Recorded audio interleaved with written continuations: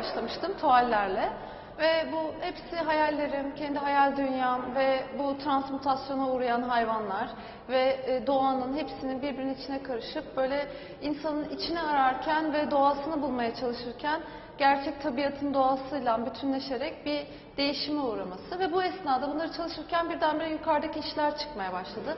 Onlar da numaralar ve e, numeroloji üzerine ve o da e, işte bu kendimi sorgulama süreci içerisindeyken birdenbire o sayılar ve o sayılarla o süreci göstermeye çalışmak ve ondan sonra şiirlerim geldi ve şiirler o kitabın içerisine girdi. Bütün resimlerle birlikte bütünleşti ve bu kat daha da büyüdü buradaki işler ve böyle e, benim dünyam çıkmış oldu gibi bir şey oldu yani. Üst kattakiler karışık teknik işlerim.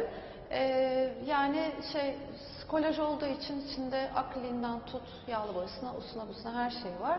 E, ve onlar da çok tatlı bir durum. Üst kat komşum bana e, kendi okuduğu Herald Tribute'ları bırakıyordu. Ve ben de onları okurken birdenbire bir gün aa ne güzel başlık, ne güzel başlık derken onların kolajları oluşmaya başladı orada. Ee, işte onun için Herald Tribute var içinde. işte sonra başka gazeteler, sonra Arap gazeteleri almaya başladım, Le Monde almaya başladım falan. Hepsi böyle bir arada karıştı etti. Ve böyle e, gazetelerin aslında üzücü haberlerini ben, ben hayatımızdaki mutlu haberlere veya kendimizi hatırlatmayı ümit ettiğim mutlu sözcüklere dökmeye çalıştım o kolajlarda. E, bunların hepsi akrilik üzerine yağlı boya. Daha önceki sergim, Ekal'daki sergimdeki gibi onlar da akrilik üzerine yağlı boya. E, bu şeylerse e, bu gördüğünüz işte bonibon kapakları. Bu bonibon kapaklarının hepsini tek tek 2000'e yakın yapıştırdım işte alçı üzerine. Ve bu oluştu. Bunun da hikayesi var hatta çok komik. O da Değiş Tokuş diye bir sergiye katılmıştım.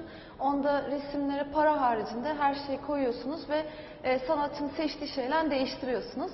Birisi de işte e, bonibon kapağı koleksiyonumla değiştirebilir miyim dediğinde çocukluğumda en sevdiğim şey bonibondu. Ve hep kapaklarını biriktirmek istiyordum. Hiçbir zaman biriktiremiyordum çünkü annem dişlerini bozar diye yedirmiyordu falan böyle azıcık bir şey oluyordu diye. Bonibon kapağı 2000 tane nasıl yani falan dedikten sonra onu kabul ettim ve sonra bu tavşan çıktı. Sonra o benim sponsorum oldu hatta. Meğersem o plastikleri yapıyormuş. O onun koleksiyonu falan değilmiş.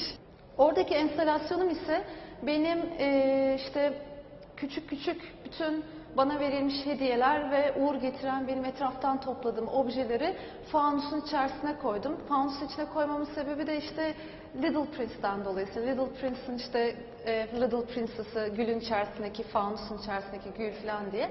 İşte benim gülümse ben hem Prince'im hem Princess'ım falan gibi düşünüp benim hayallerim aslında benim gülüm ve onları hep beslemem lazım, büyütmem lazım ve sevgiyle bakmam lazım diye oradan o hayallerimden yola çıkarak kadın vücudu ve kadın vücudunun süt vermesi ve sonra mutlu mutlu tavşanlar. Sergim 28 Nisan tarihine kadar Şalebi Art Galeri'de ziyaret edebilirsiniz. 26 Nisan tarihinde de performansıma bekliyorum.